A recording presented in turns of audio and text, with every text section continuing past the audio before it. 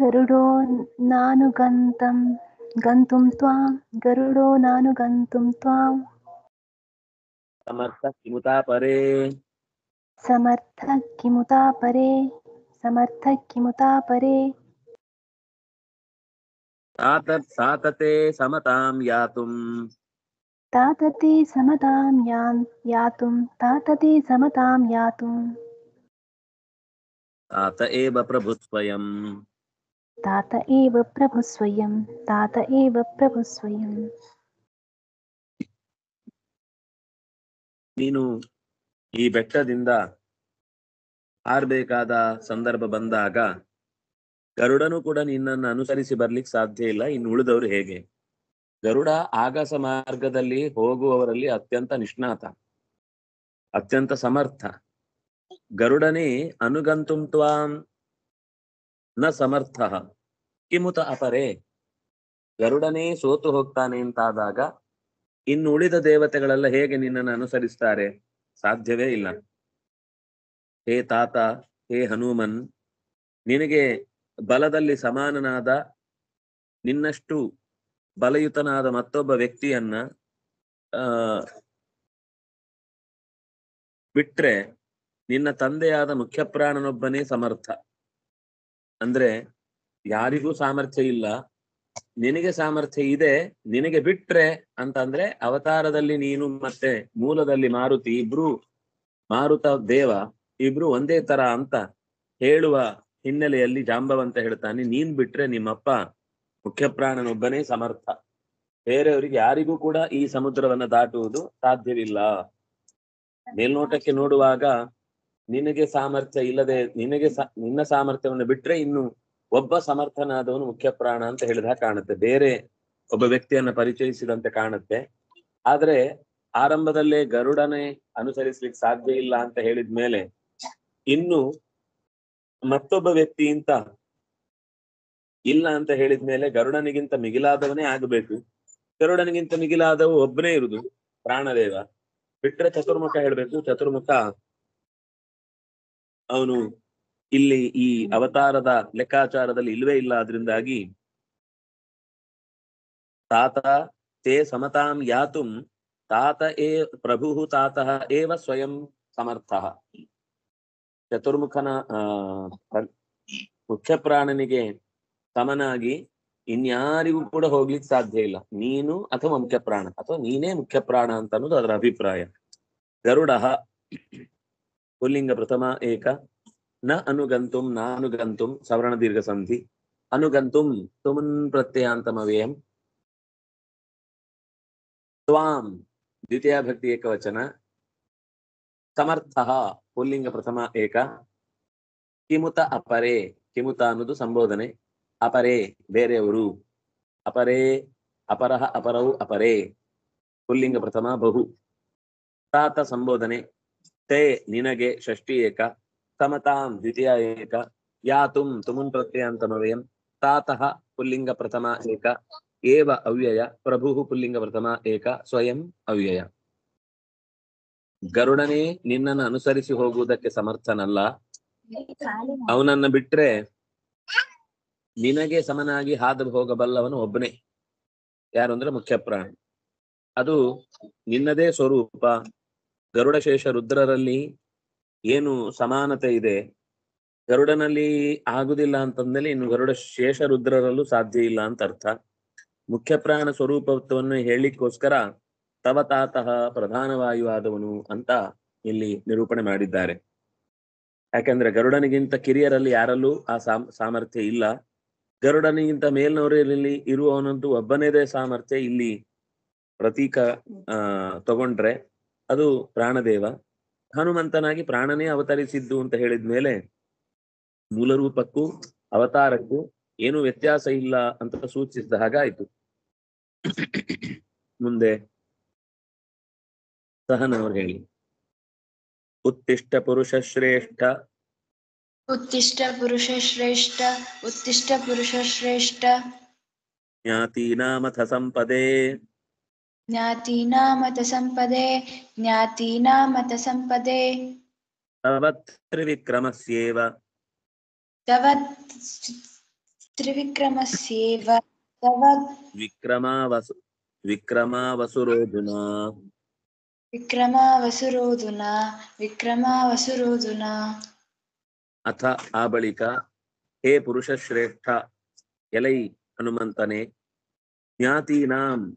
ನಮ್ಮೆಲ್ಲ ಬಂಧುಗಳ, ಅಂದ್ರೆ ಸಮಾನ ಗೋತ್ರಕರಾದ ಎಲ್ಲರ ಸಂಪತ್, ಸಂಪತ್ತು, ಆ, ಅದನ್ನ ಬೆಳೆಸುವುದಕ್ಕೋಸ್ಕರ, ವಿಭೂತಿಗಾಗಿ, ಆ ಸಂಪತ್ತಿನ ವೃದ್ಧಿಗಾಗಿ ನೀನು ಎದ್ದೇಳು. ಅಂದ್ರೆ ನಮ್ಮೆಲ್ಲರ ಸಂಪತ್ತು ಅಂತಂದ್ರೆ ಸೀತೆಯನ್ನ ಮರಳಿ ತರುವುದೇ ನಮಗೆ ದೊಡ್ಡ ನೆಮ್ಮದಿಯ ಸಂಪತ್ತು. ಅದನ್ನ ನಡೆಸ್ಲಿಕ್ಕೋಸ್ಕರ ಜ್ಞಾತಿಗಳು ಅಂದ್ರೆ ಈ ಎಲ್ಲ ಕಪಿವೀರರು. ಎಲೆ ಪುರುಷ ಶ್ರೇಷ್ಠನಾದ ಹನುಮಂತನೇ ಜ್ಞಾತಿಗಳಾದ ನಿನ್ನ ಬಂಧುಗಳಾದ ನಿನ್ನನ್ನೇ ಅವಲಂಬಿಸಿ ನಂತಿರುವ ನಿಂತಿರುವ ಈ ಎಲ್ಲ ಆ ಕಪಿಗಳ ಹಿರಿತನಕ್ಕಾಗಿ ವಿಭೂತಿಗಾಗಿ ಬೆಳವಣಿಗೆಗಾಗಿ ನೀನು ಎದ್ದೇಳು. ಅಧುನಾ ತ್ರಿವಿಕ್ರಮಸ್ಯ ಇವ.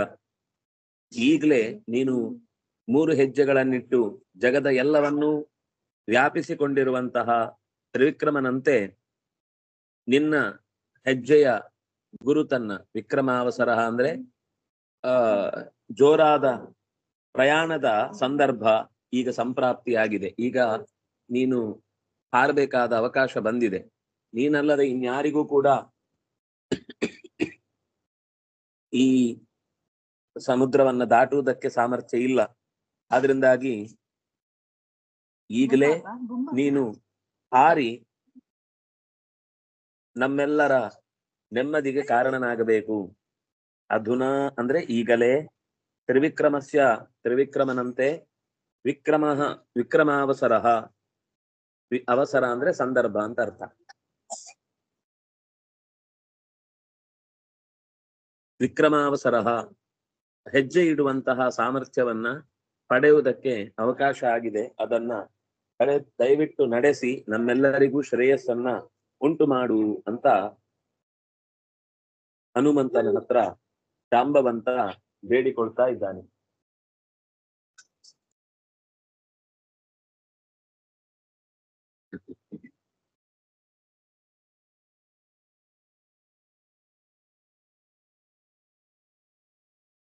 ಉತ್ತಿಷ್ಠ ಸಂಬೋಧನಾ ಪ್ರಥಮ ಏಕ. ಸಾರಿ, ಉತ್ತಿಷ್ಠ ಅನ್ನೋದು ಲೋಟ್ ಮಧ್ಯಮ ಏಕ. ಪುರುಷ ಶ್ರೇಷ್ಠ ಸಂಬೋಧನಾ ಪ್ರಥಮ. ಜ್ಞಾತೀನಾಂ ಆ, ಜ್ಞಾತಿ ಅನ್ನೋದು ಷಷ್ಠಿ ಭಕ್ತಿ, ಬಹುವಚನ ಜ್ಞಾತೀನಾಂ ಅಥ, ಅವ್ಯಯ, ಸಂಪದೆ, ಸಂಪತ್ತಿಗಾಗಿ, ವಿಭೂತಿಗಾಗಿ ತವ ನಿನ್ನ ಷಷ್ಠಿ ಏಕ, ವಿಕ್ರಮಸ್ಯ ಷಷ್ಠಿ ಏಕ, ಏವ, ಇವ, ಅವ್ಯಯ ವಿಕ್ರಮಾವಸರಃ ವಿಕ್ರಮಸ್ಯ ಅವಸರಃ, ವಿಕ್ರಮಾವಸರಃ. ಸಂಪ್ರಾಪ್ತಃ ತಪ್ರತ್ಯಯಾಂತ ಶಬ್ದಃ, ಪುಲ್ಲಿಂಗ ಪ್ರಥಮ, ಏಕ. ಓ ಹನುಮಂತನೇ, ಎದ್ದೇಳು, ನಿನ್ನವರ ಏಳಿಗೆಗಾಗಿ ಹೆಜ್ಜೆ ಇಡು. ಹೇಗೆ? ತ್ರಿವಿಕ್ರಮ ತನ್ನ ಮೂರು ಹೆಜ್ಜೆಗಳಿಂದ ಜಗತ್ತಿನ ಎಲ್ಲವನ್ನು ವ್ಯಾಪಿಸಿ ನಿಂತು, ಆ ಎಲ್ಲರಿಗೂ ಸುಖವನ್ನ ತಂದುಕೊಟ್ಟು ದೇವತೆಗಳಿಗೆ. ಹಾಗೆ ನೀನು ಕೂಡ ನಮಗೆಲ್ಲರಿಗೂ ಸುಖವನ್ನ ತಂದು ಕೊಡುವವನಾಗು. ವಿಕ್ರಮಾವಸರ ನಿನ್ನ ಹೆಜ್ಜೆ ಗುರುತಿನಿಂದ ನಮಗೆಲ್ಲರಿಗೂ ಶ್ರೇಯಸ್ಸನ್ನು ಉಂಟು ಮಾಡು ಅಂತ ಕೇಳ್ತಾ ಇದ್ದಾನೆ.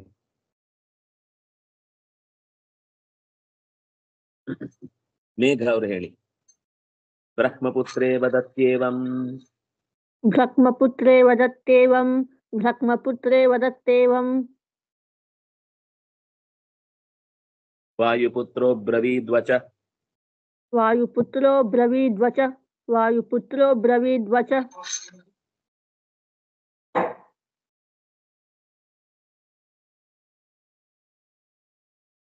నందయంతోక సంతప్తాన్ని నందయన్ చోక సంతప్తాన్.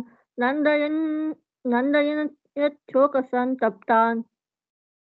మందహాసేందునా హరీన్ మందహాసేను सेन्दुना हरिन् मन्दहासेन्दुना हरिन् ಏವಂ ಬ್ರಹ್ಮಪುತ್ರೇ ವರ್ತತಿ ಸತಿ ವಾಯುಪುತ್ರೋ ವಚಃ ಅಬ್ರವೀತ್ ಬ್ರಹ್ಮಪುತ್ರ ಅಂತಂದ್ರೆ ಜಾಂಬವಂತ ಜಾಂಬವಂತ ಚತುರ್ಮುಖನ ಮಗ ಬಹಳ ಹಿಂದೆ ಅವತರಿಸಿದವನು ಅವನು ಅವತ್ ಅವನು ವಾಮನ ಅವತಾರದ ಸಂದರ್ಭದಲ್ಲೇ ಹುಟ್ಟಿ ಆಗಿತ್ತು ವಾಮನ ಆದ್ಮೇಲೆ ಪರಶುರಾಮ ಆದ್ಮೇಲೆ ರಾಮನ ಅವತಾರ ಅದಕ್ಕಿಂತ ಪೂರ್ವದಲ್ಲೇ ಆ ಹನುಮಂತ ಅವತರಿಸಿ ಆಗಿದೆ ಹಾ ಜಾಂಬವಂತ ಅವತರಿಸಿ ಆಗಿದೆ. ಆ ಜಾಂಬವಂತನ ಅವತಾರದ ಉದ್ದೇಶ ಏನಿತ್ತು ಅಂದ್ರೆ ಬಹಳ ಪೂರ್ವದಲ್ಲೇ ವೃಕ್ಷಗಳ ಅಂದ್ರೆ ಕರಡಿಗಳ ದೊಡ್ಡ ಗುಂಪು ಲೋಕದ ಹಿತಕ್ಕಾಗಿ ರಾಮನ ಸೇವೆಗಾಗಿ ಆಗ್ಲೇ ಬಂದು ಕಾಯ್ತಾ ಇದ್ವು ಅಂತಹ ಜಾಂಬವಂತ ಏವಂ ವದತಿ ಸತಿ, ಹೀಗೆ ರಾಮನ ಸೇವೆಗಾಗಿ ಹೊರಡು ಅಂತ ನೀನೇ ಅದಕ್ಕೆ ಸಮರ್ಥ ಅಂತ ಹನುಮಂತನನ್ನು ಪುಸಲಾಯಿಸಿದಾಗ ಏವಂ ಅಬ್ರವೀತ್ ಹೀಗೆ ವಚಃ ಅಬ್ರವೀತ್ ಈ ಮಾತನ್ನು ಹೇಳಿದ. ಏನ್ ಮಾಡಿದ ಅಂದ್ರೆ ಶೋಕ ಸಂತಪ್ತಾನ್ ಹರೀನ್ ಮಂದಹಾಸೇಂದುನ ಅಬ್ರವೀತ್ ಹೇಗೆ ಹೇಳಿದ ಅಂತಂದ್ರೆ ಹರೀನ್ ಅಂದ್ರೆ ಕಪಿಗಳನ್ನು. ಕಪಿಗಳನ್ನು ಮಂದಹಾಸೇಂದುನ ಇಂದು ಅಂತಂದ್ರೆ ಚಂದ್ರ. ಮಂದಹಾಸೇಂದುನ ಅಂತಂದ್ರೆ ನಗುತ್ತಾ ನಗುತ್ತಾ ಆ ಚಂದ್ರನಂತೆ ಕಿರಣವನ್ನ ಚೆಲ್ಲಿದ ನಗುವಿನೊಂದಿಗೆ ಅಂದ್ರೆ ಅದು ನಗುವೇ ಅಷ್ಟು ಚಲುವು ಮಂದಹಾಸದ ಚಂದಿರನಂತೆ ಶೋಕ ಸಂತಪ್ತರಾದವರ ಮನಸ್ಸಿಗೆ ಒಂಥರ ಸಮಾಧಾನವನ್ನು ಕೊಡುವವನಾದ.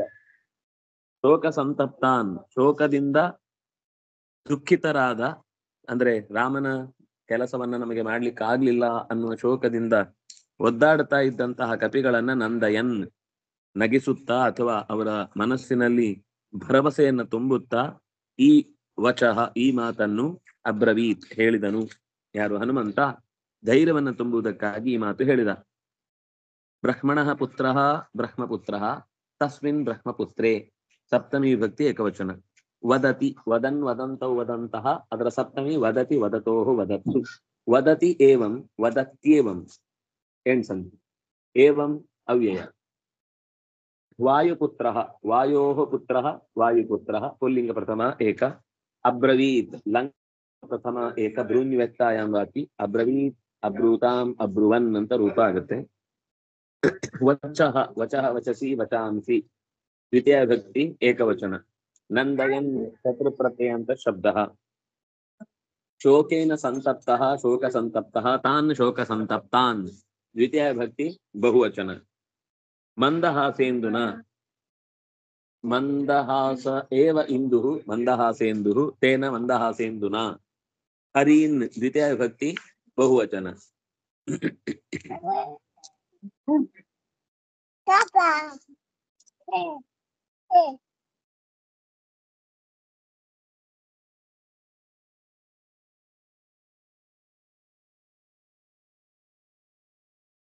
ಚೈತನ್ಯ ಅವ್ರಿಗೆ ಹೇಳಿ.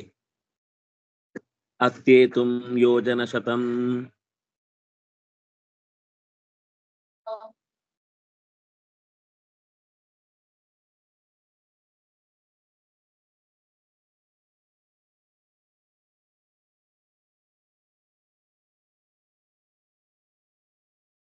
ಶ್ರೀ ಶ್ರೀ ವೈಷ್ಣವರು ಹೇಳಿ ಅತ್ಯೇತುಂ ಯೋಜನ ಶತಂ अत्येतुं योजनशतम् अत्येतुं योजनशतम्। मम यासो न विद्यते। मम यासो न विद्यते। मम मम यासो न विद्यते। सर्वत्र व्याहतागते। सर्वत्र व्याहतागते। सर्वत्र व्याहतागते।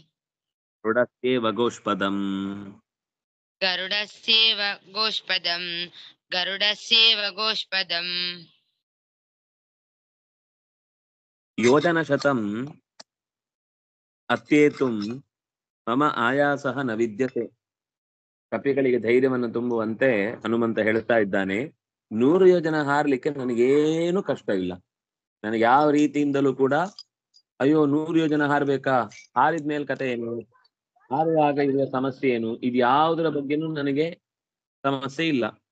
ಮಮ ಆಯಾಸ ನವಿದ್ಯತೆ ವಿದ್ಯತೆ. ಆಯಾಸ ಅಂದ್ರೆ ಸುಸ್ತು, ದೇಹಕ್ಕೆ ಒತ್ತಡ ಸೆಳೆತ ಜೋಮ್ ಹಿಡಿಯುವುದು, ಕಿರಿಕಿರಿ ಆಗುದು ಒದ್ದಾಟ ಬರುವುದು, ಇದು ಯಾವ ಸಮಸ್ಯೆನೂ ಇಲ್ಲ ನನಗೆ.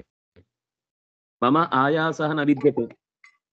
ಯಾಕೆ ಅಂದ್ರೆ ಸರ್ವತ್ರ ಅವ್ಯಾಹತ ಗತೇ ವ್ಯಾಹತಿ ಅಂತಂದ್ರೆ ತಡೆ. ಅವ್ಯಾಹತ ಗತಿ ಅಂತಂದ್ರೆ ತಡೆ ಇಲ್ಲದ ನಡೆ ನನ್ನದಾದ್ರಿಂದಾಗಿ ನನ್ನನ್ನು ತಡೆಯುವಂತದ್ದು ಯಾವುದೂ ಇಲ್ಲ. ಆ, ಹನುಮಂತನ ಅಲ್ಲ, ಅರ್ಜುನನ ರಥದ ಬಗ್ಗೆ ನಿರೂಪಣೆ ಮಾಡುವಾಗ, ಆ, ಅವನ ರಥವನ್ನ ತಡಿಲಿಕ್ಕೆ ಯಾವ ಮರಗಳು ಕೂಡ ಅಡ್ಡ ನಿಲ್ತಿರ್ಲಿಲ್ಲ ಅಂತ ಅವನ ಧ್ವಜವನ್ನಾಗಲಿ, ಮೇಲಿನ ಛತ್ರವನ್ನಾಗಲಿ, ಅದು ಹೋಗ್ತಾ ಇದ್ರೆ ತಾನೇ ಮೊದಲು ದಾರಿಯನ್ನ, ಆ, ನುಣುಚಿಕೊಂಡು ಹೋಗ್ತಾ ಇತ್ತು ಹೊರತು ಮಧ್ಯದಲ್ಲಿ ಬೇರೆ ಯಾವುದಕ್ಕೂ ಸಿಕ್ಕಿ ಬಿದ್ದು ಇನ್ನೊಂದ್ ನಾಲ್ಕು ಜನ ಅದಕ್ಕೆ ಮಧ್ಯದಲ್ಲಿ ಉಪಕಾರ ಮಾಡ್ಲಿಕ್ಕೆ, ಆ, ಸಹಾಯಕ್ಕೆ ಬೇಕಾಗಿರ್ಲಿಲ್ಲ ಅನ್ನೋ ಮಾತನ್ನ ಹೇಳ್ತಾರೆ. ಹಾಗೇನೆ ಇಲ್ಲಿ ಹನುಮಂತ ಹೊರಟ ಅಂದ್ರೆ ಅವನನ್ನ ತಡೆಯುವ ಶಕ್ತಿ ಅಂತ ಯಾವುದೂ ಇಲ್ಲ. ಅವನನ್ನ ವಿಭಾಗ ಮಾಡಿದ್ರೆ ಅಂದ್ರೆ ಒಂದು ಸರ್ತಿ ಅವನು ಹೆಜ್ಜೆ ಮಾಡಿಟ್ಟು ಆಕಾಶಕ್ಕೆ ನೆಗ್ಗದಾದ್ರೆ ಮತ್ತೆ ಆಕಾಶದ ಮೋಡವಾಗಲಿ, ನಡುವಿನ ಬೆಟ್ಟವಾಗಲಿ ಮರಗಳ, ಮರ ಗಿಡಗಳಾಗಲಿ ಯಾವುದೂ ಕೂಡ ಅವನನ್ನ ಎದುರಿಸ್ಲಿಕ್ಕೆ ಸಾಧ್ಯ ಇಲ್ಲ ಅಂತ ಗೊತ್ತಾಗುತ್ತೆ. ಇದು ಹನುಮಂತ ಹೇಳುವ ಮಾತು, ಸರ್ವತ್ರ ಅವ್ಯಾಹತ ಗತೆ. ಇದೊಂದು ಹನುಮಂತನ ವಿಶೇಷವಾದ ಗುಣ. ಅವ್ಯಾಹತ ಗತಿ. ಯಾರು ಅವನನ್ನ ತಡೆದು ನಿಲ್ಲಿಸೋರಿಲ್ಲ ಹನುಮಂತನ ಸಂಕಲ್ಪ ಆಗಿ ಹನುಮಂತ ನಮಗೆ ರಕ್ಷಣೆ ನೀಡ್ತಾನೆ ಅಂತ ಭರವಸೆ ಸಿಕ್ಕಿದ ಮೇಲೆ ಮತ್ತೆ ನಮ್ಮನ್ನ ಯಾರೂ ಕೂಡ ಅಡ್ಡ ಹಾಕ್ಲಿಕ್ಕೆ ಆಗುದಿಲ್ಲ ಆದ್ರಿಂದಾಗಿ ಅವ್ಯಾಹತ ಗತಿ ಉಳ್ಳಂತಹ ಹನುಮಂತ ಹಾರ್ತಾನೆ ಆಕಾಶಕ್ಕೆ. ಹೇಗೆ ಅಂದ್ರೆ ಅದಕ್ಕೊಂದು ಉದಾಹರಣೆ ಕೊಡ್ತಾರೆ. ಹಿಂದೆ ಗರುಡನ ಹತ್ರ ಸಾಧ್ಯ ಇಲ್ಲ ಅಂದ್ರು. ಈಗ ಗರುಡನದ್ದೇ ಉದಾಹರಣೆ ಕೊಡ್ತಾರೆ. ಆದ್ರೆ ಗರುಡನದ ಉದಾಹರಣೆ ಕೊಟ್ಟದ್ದು ಹೇಗೆ ಅಂದ್ರೆ ಗೋವು ಹೆಜ್ಜೆ ಇಟ್ಟ ಜಾಗವನ್ನ ಗರುಡ ಹೇಗೆ ಒಂದ್ ಸರ್ತಿ ಈಗ ಹಾರಿದ್ರೆ ಅದು ಆಚೆ ದಾಟಿ ಹೋಗುತ್ತೋ ಹನುಮಂತನಿಗೆ ಈ ಸಮುದ್ರ ಒಂದು ಗೋವು ಇಟ್ಟ ಹೆಜ್ಜೆಯ ಹಾಗೆ. ಗೋವಿಟ್ಟ ಹೆಜ್ಜೆ ಒಂದು ಅದು ತುಂಬಾ ಪವಿತ್ರ ಅಂತ ಲೆಕ್ಕ. ಕೇವಲ ಅದನ್ನೊಂದು ಹೆಜ್ಜೆ ಅಂತ ಮಾತ್ರ ಹೇಳುದಲ್ಲ ಅದಕ್ಕೊಂದು ವಿಶಿಷ್ಟವಾದ ಸ್ಥಾನ ಇದೆ. ಅದು ಈ ಬಾಲಕಿಲ್ಯರೆಲ್ಲ ಆ, ಹೋಗ್ಬೇಕಾದ್ರೆ ಅವ್ರ ಸಮುದ್ರವನ್ನ, ಆ ಆ ಗೋ, ಗೋವಿನ ಹೆಜ್ಜೆಯ ಜಾಗವನ್ನ ದಾಟ್ಲಿಕ್ಕೆ ಅವ್ರಿಗೆ ಆಗ್ಲಿಲ್ಲ ಅಂತ ಅವ್ರು ಸಮಿತಿ ತಗೊಂಡ್ಬರ್ತಾ ಇದ್ರಂತೆ. ಸಮಿತಿ ತರುವಾಗ ಇದು ದೊಡ್ಡ ಹೊಳ್ಳ, ಹಳ್ಳದ ಹಾಗೆ ಅವರಿಗೆ. ಆ ಹಳ್ಳವನ್ನ ದಾಟಿ ಬರ್ಲಿಕ್ಕೆ ಅವರಿಗೆ ಸಾಧ್ಯ ಆಗುದಿಲ್ಲ ಅಂತ ಇಂದ್ರ ತಮಾಷೆ ಮಾಡ್ತಾನೆ. ಆ ತಮಾಷೆಯ ಫಲವಾಗಿ ಗರುಡ ಹುಡ್ತಾನೆ.